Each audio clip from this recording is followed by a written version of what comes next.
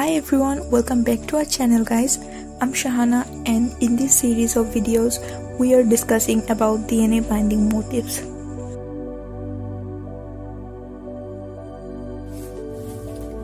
Previously we discussed in detail about helix turn helix motif, helix loop helix motif, leucine zipper motif.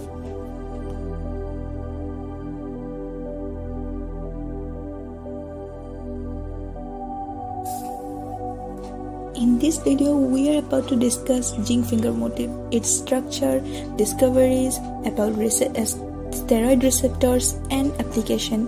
So without any further ado, let's jump into this video.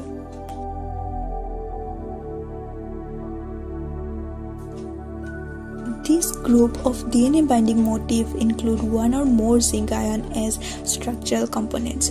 So this is this is a 2D diagram of zinc finger motif.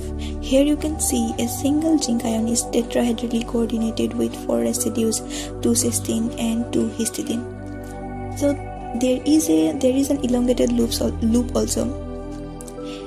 You might ask why why it is named as finger zinc finger. So here you can see in this diagram the elongated loop appear as a finger so back then, scientists named it as zinc finger.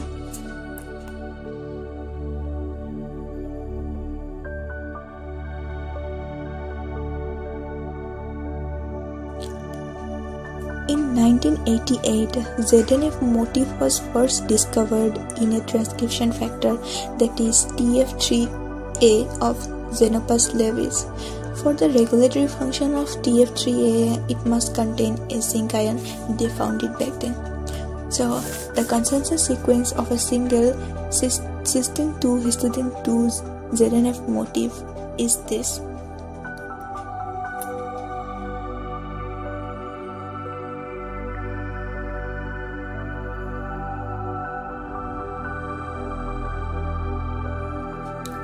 The main function of zinc ion in this motif is to stabilize the correct folding of the protein.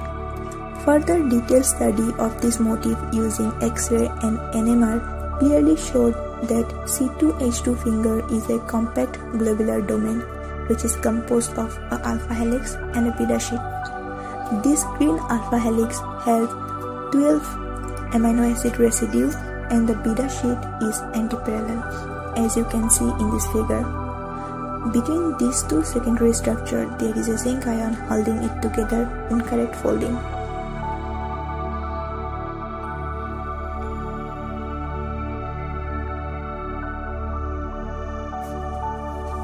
Now we know that zinc ion only stabilizes the folding of the protein and it does not itself bind to the DNA.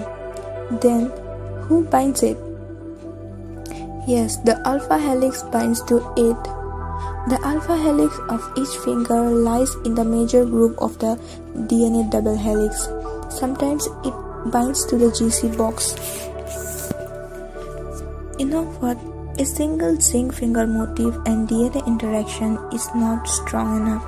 So the protein have a cluster of it for stronger and specific interaction. In this figure, you can see there is three zinc finger motif which together interacts with the DNA.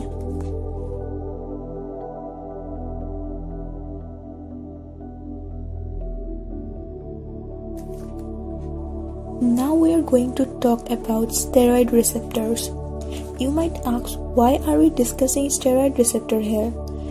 It is because steroid receptor is another class of DNA binding protein which make use of zinc ion. Steroid receptors are generally intracellular receptors which are found in the nucleus and cytosol. When ligand binds to it, they form ligand receptor complex which is a gene regulator. Its DNA binding domain has zinc, zinc finger which has cysteine but no histidine residue, so it is referred to as cysteine 2 cysteine 2 zinc finger. That is C2C2 zinc finger with no histidine. This domain is 70 to 80 amino acid long and contain two zinc ion each coordinated coordinated tetrahedrally with four cysteine residue and its consensus sequence is this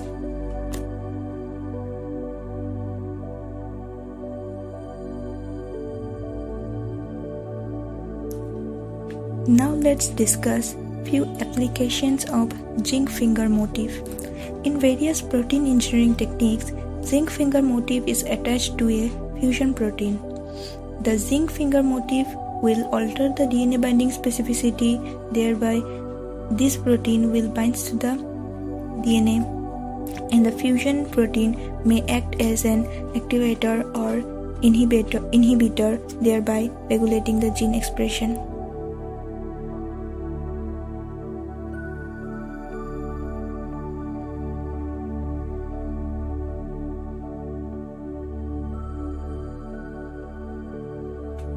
ZNF motif can also be attached with DNA cleavage domain to cut in a sequence-specific region of the DNA. The most common applications of ZNF array include zinc finger transcription factor and zinc finger nuclease.